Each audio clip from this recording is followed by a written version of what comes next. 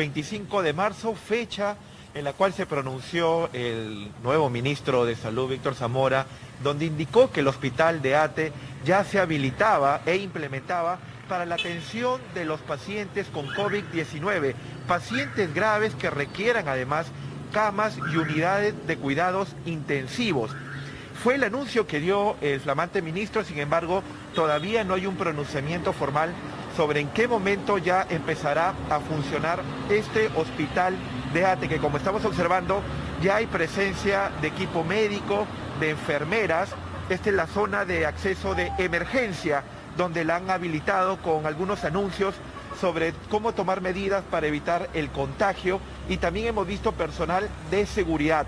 Por el momento no hay otra información más que la que ya se ha implementado el hospital con algunas camillas.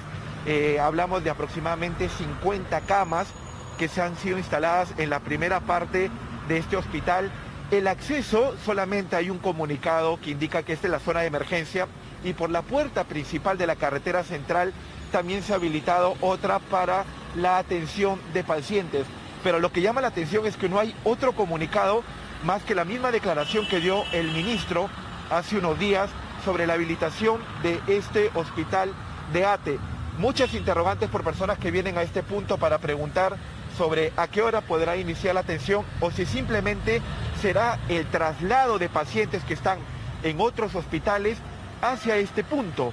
Muchas dudas que pueden ser respondidas por las autoridades, ya que todavía no se ha estipulado si pacientes nuevos pueden venir directamente a este hospital o solo serán aquellos que terminarán siendo trasladados de los hospitales que ya están atendiendo. Lo que sí se sabe es que este será el hospital central de atención para que los pacientes con COVID-19 puedan ser atendidos con unidades especializadas. Recordemos que también el ministro aseguró sobre que en este punto habrá vigilancia epidemiológica.